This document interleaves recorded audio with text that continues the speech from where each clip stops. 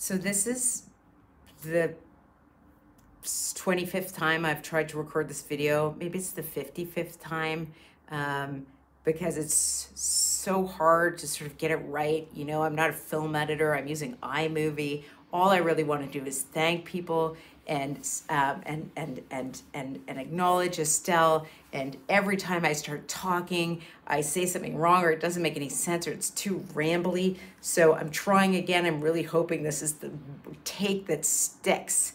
All right, here we go. If I was in the room, what I would be saying, Tressa Lavasseur, congratulations, you're amazing.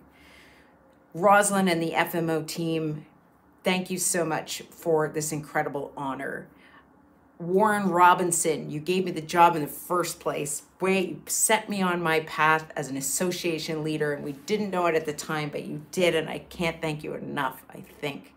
Sam Baardman, former executive director of the Manitoba, Manitoba Audio Recording Industry Association, now known as Manitoba Music. You let me steal all of your ideas while I was building the OCFF, and I can't thank you enough. You're a dear friend to this day. Speaking of dear friends, I think he's in the room right now. We never see each other, but you're always with me, Angus Finnan, and you've inspired me to work harder and think bigger all for, I don't know, what, 35 years now? Holy cow. I was questioning the whole lifetime achievement thing until I started doing the math and looking in the mirror. I want to thank someone um, who walked into my life at my very first FMO conference at the Four Point Sheraton Lakeshore uh, in the 2001 conference.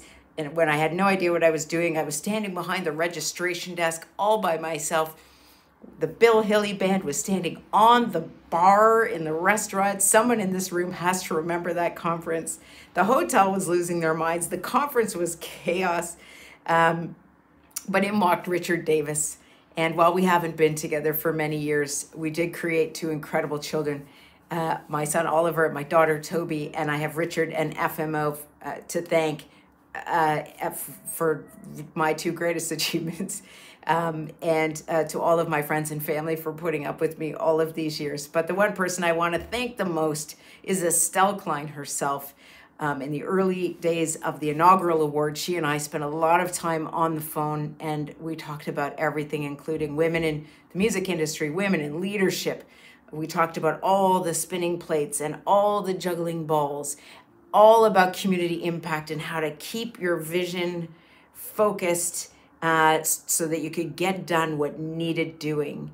And she inspired me greatly and always has. And it is incredible to be able to say thank you um, uh, while receiving an award in her name, to be associated with her character um, is probably the greatest achievement of my life. Folk Music Ontario, uh, thank you for everything. I'm sorry I'm not there again, and I hope you've all had a great conference. This is truly um, a, a, a, ridiculous honor. And now I'm going to stop talking because if I ramble too much, I'm going to have to do another take.